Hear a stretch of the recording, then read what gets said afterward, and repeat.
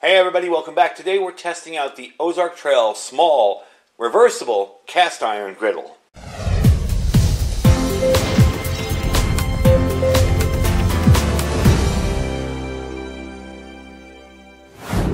Alright everybody, welcome back. So today I'm going to take a look at this cast iron reversible griddle from uh, Ozark Trail. It is a grill and griddle and it is reversible.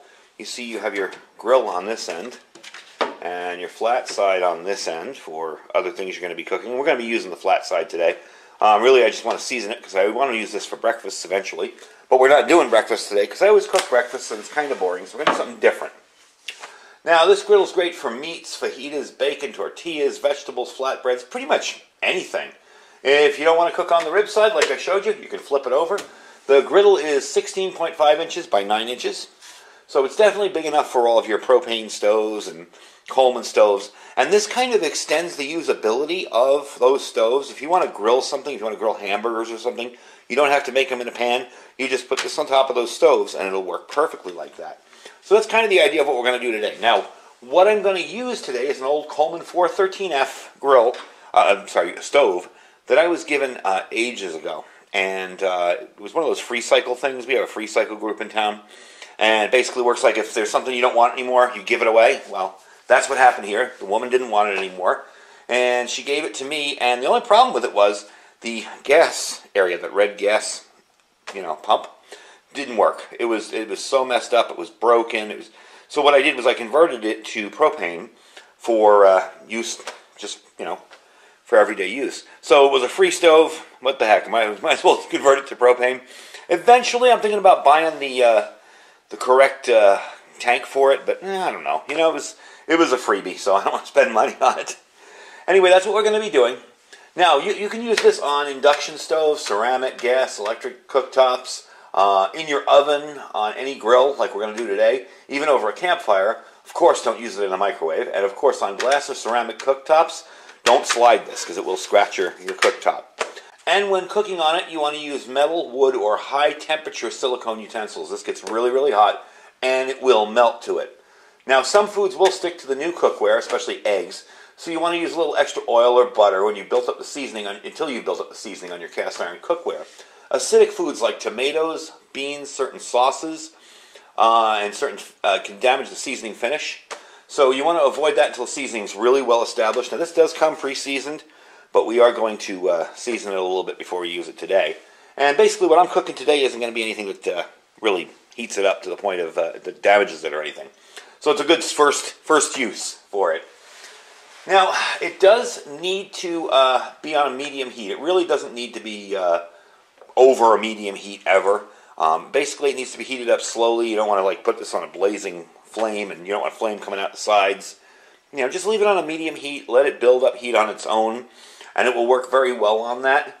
Now, to clean it, really simple. You let it cool down. You wipe it with a clean dry cloth or paper towel.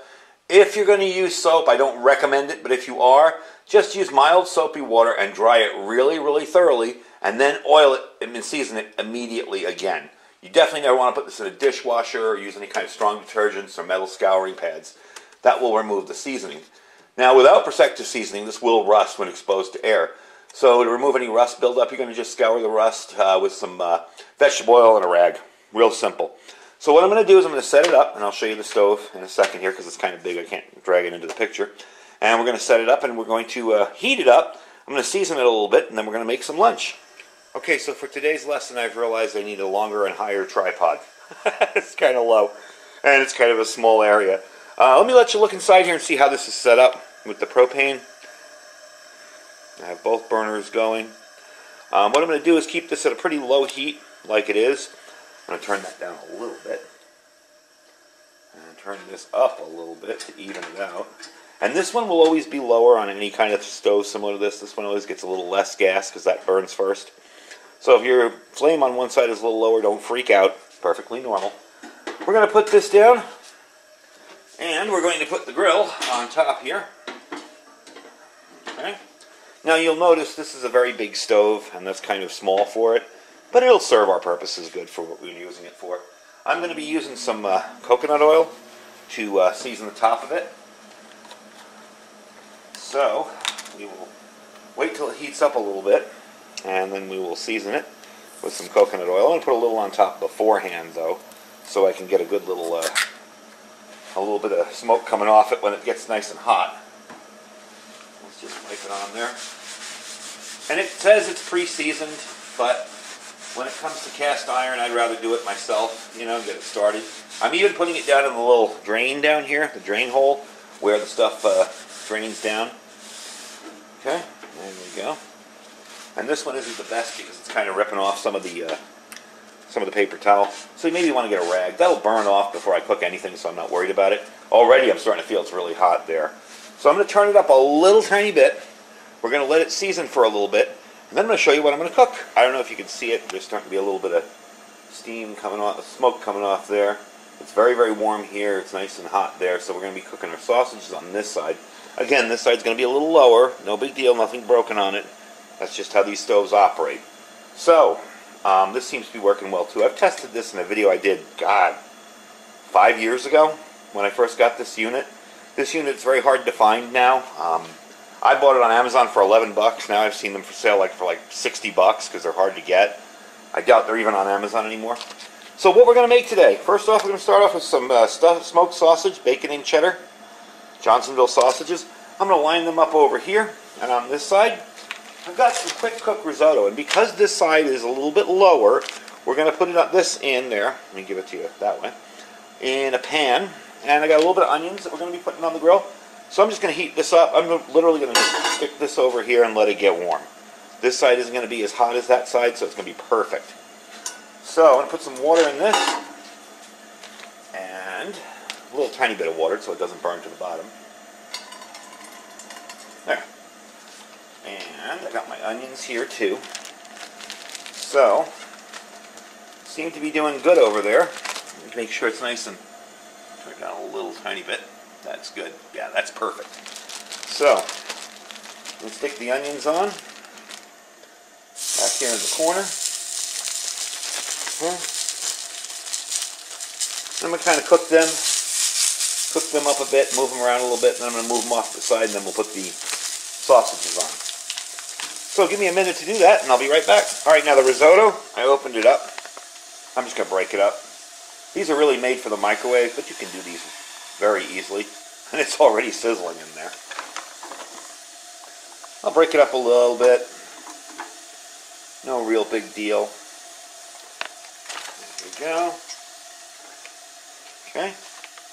Now I am going to put a little bit of butter. I'm going to let these cook for a little bit. I'm going to put a little bit of butter over here for the uh, onions. They didn't stick at all. They're doing pretty good. And the uh, sausages. So let me go get that, and I'll bring you back. All right, so I bumped up the heat a little bit. I want to get that starting to get warm. As you can tell here, that's the risotto. And the onions are doing really well. I moved them over to the cooler side, but they're still cooking well. And they'll take a little bit longer, because I don't necessarily want to rush that.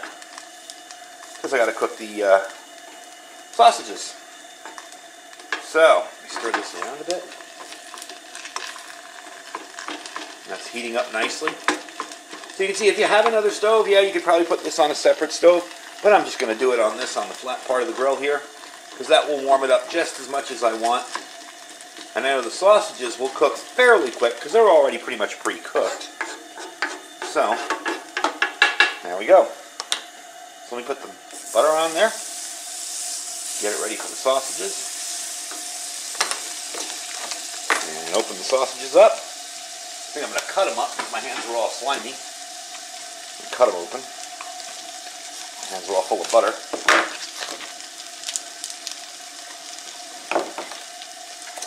Alright. Now I'm going to take the heat down a little bit on that side because it's kind of high. There we go. I mean, that's perfect. Okay.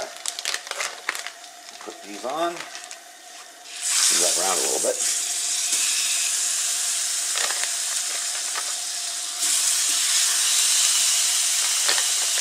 Go. Alright. Give those a few minutes, and then I'll moving them around a little bit.